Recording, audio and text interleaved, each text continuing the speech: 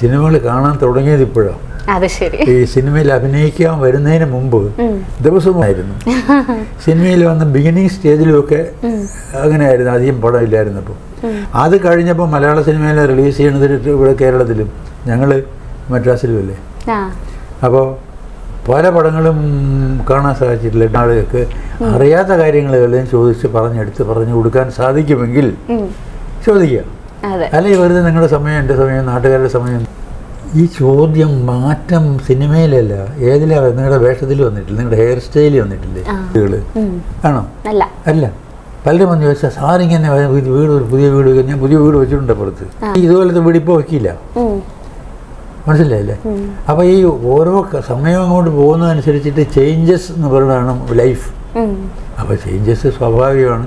Changes ഇല്ല? Stand still ഒന്നിനും കൊള്ളില്ല. അതേ ഉള്ളൂ. വളരെ സ്വാഭാവികമാണ് ചേഞ്ചസ്